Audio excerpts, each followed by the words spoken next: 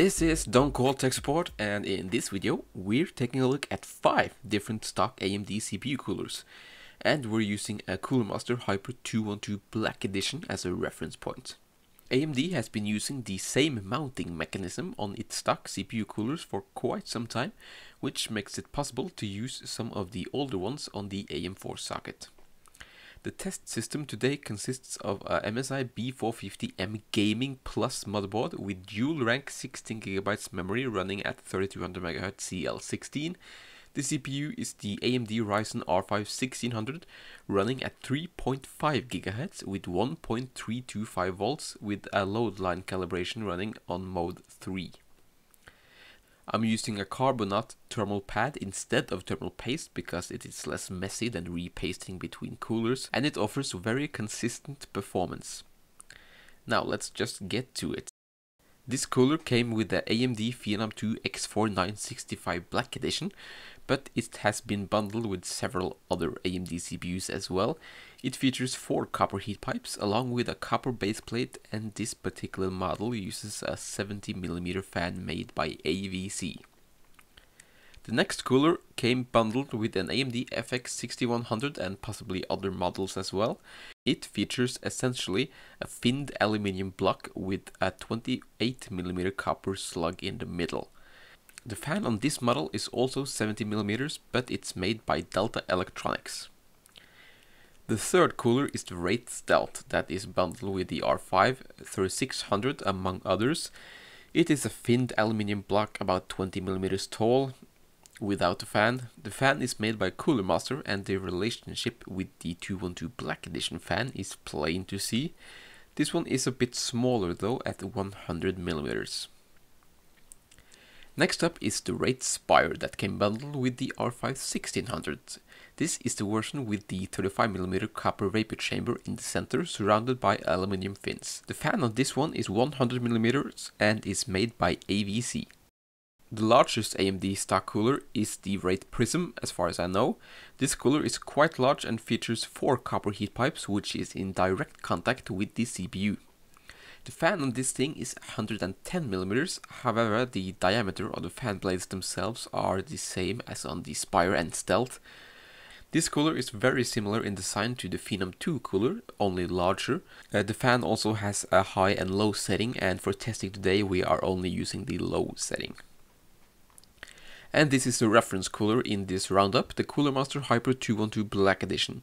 This is a great cooler for a great price. It features four nickel-plated copper heat pipes which are in direct contact with the heat spreader of the CPU, similar to the Wraith Prism. The tower cooler is 158.8mm tall and uses a very quiet 120mm fan.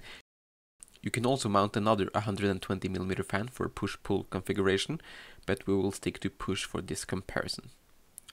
That is all the contenders in this roundup. Now we start off by looking at weight without the fans and the mounting gear.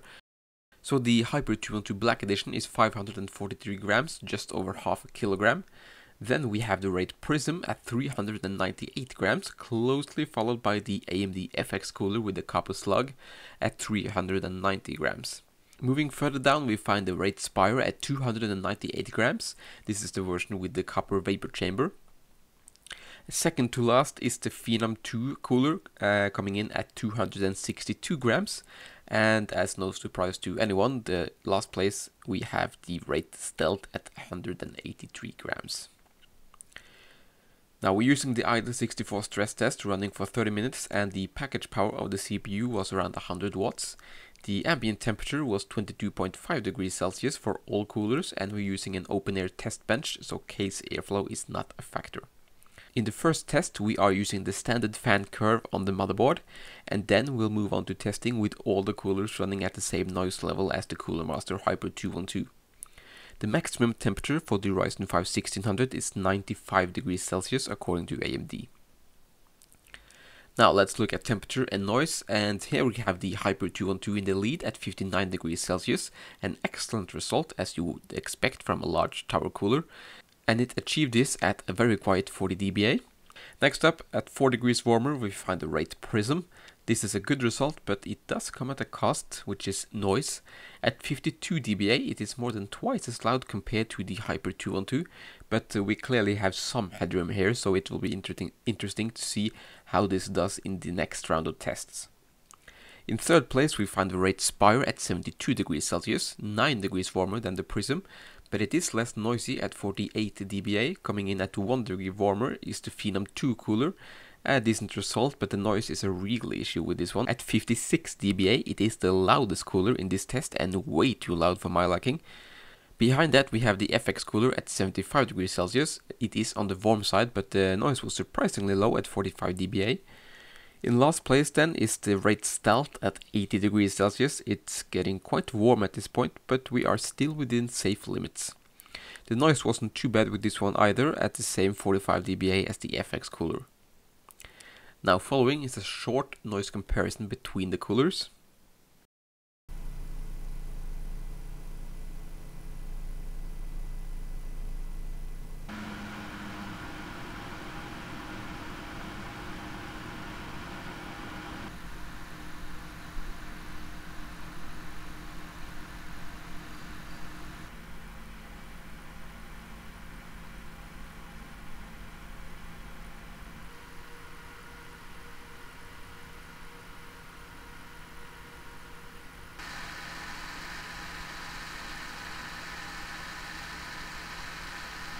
Now then, what happens when we match the noise level to the Hyper 212 cooler?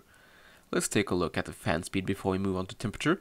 So the 120mm fan of the Hyper 212 is running at 1616 RPM at 40 dBA. For the Wraith Stealth, 40 dBA which was reached at around 1800 RPM. The fan on the Wraith Spire hit the noise target even earlier at 1724 RPM, while the Wraith Prism hit 40 dBA at 1534 RPM. The FX cooler uses a smaller 70mm fan and this one hit 40 dBA at 2400 RPM, while the fan on the Phenom 2 cooler had to go all the way down to 1862 RPM to hit 40 dBA, essentially halving its RPM compared to the stock fan curve on the motherboard. Now let's see how this impacted temperatures. The Hyper 212 is still the baseline at 59 degrees Celsius, and we still find the Wraith Prism in second place, but it's now at 74 degrees Celsius and an 11 degrees increase over the stock fan curve. However, it is in my opinion well worth it given the much lower noise level. In third place, we still find the Wraith Spire at 80 degrees Celsius this time, an 8 degree increase compared to our previous result. And at 3 degrees warmer, we find the AMD FX coolers, still within the safe zone though. Now behind that we have the Wraith Stealth at second to last, which is surprising, However, at 91 degrees Celsius, it is technically within the safe limits, but I would not be comfortable running it at that temperature. Then in the decidedly last place, we have the AMD Phenom cooler at 97 degrees Celsius. And we are now above the safe limits, and I aborted the test well before the 30 minute mark this time. It is evident that the fan on this cooler really need high RPMs to be effective. So, there you have it then. The stock AMD cooler has decent performance, but if you value silence then the Hyper 212 Black Edition is in my opinion worth $35. And as a side note, I would much rather pay $35 for the Hyper 212 than pay $39 for the AMD Wraith Max, which as far as I can tell is on par with the Wraith Prism. But uh, in a pinch, the stock AMD cooler will do the job. Now that's it for this video. Thank you all so much for watching, and farewell.